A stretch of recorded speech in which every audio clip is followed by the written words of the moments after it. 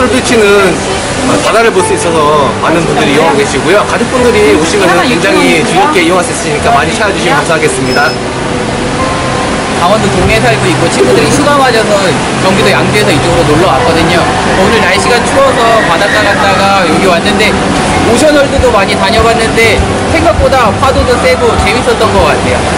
이렇게 바다를, 바다를 끼고 있는 워터파크 자체가 많이 없고 유저들도 이제 바다를 보면서 즐길 수 있어서 조금 색다르고 재미있는 워터파크가 만든 것 같아요. 삼척 솔리치 좋아요.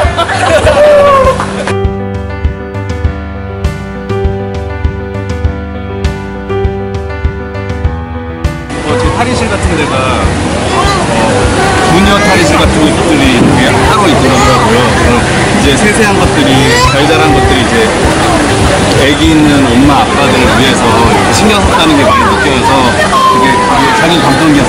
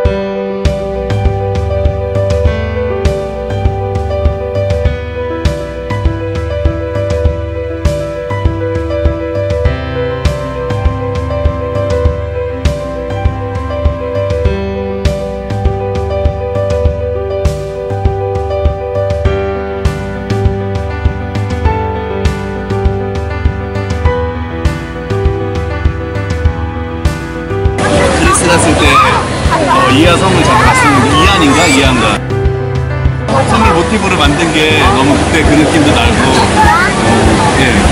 많이 좋을 것 같아요. 가족 단위로 오면 되게 좋을 것 같아요. 쏠비치 호텔 앤 리조트 삼척은 어, 전체적인 그 디자인이라든지 뭐 컨셉이라든지 이런 부분에서 유럽의 그 지중해 끝자락에 있는 그리스 그 산토리니의 그 색깔을 좀 가져오려고 노력을 했었고요.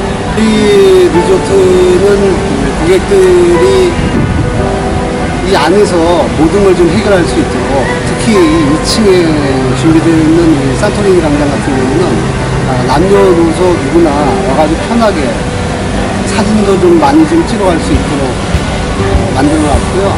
그 다음에 식당가도 한 곳에 집중을 좀 시켜놔서 이쪽에서 모든 걸 좀 해결할 수 있도록 해놨습니다. 무대 시설이라든지 이런 부분에서의 어떤 뭐 디테일이라든지 이런 부분에서 많이들 깜짝깜짝 것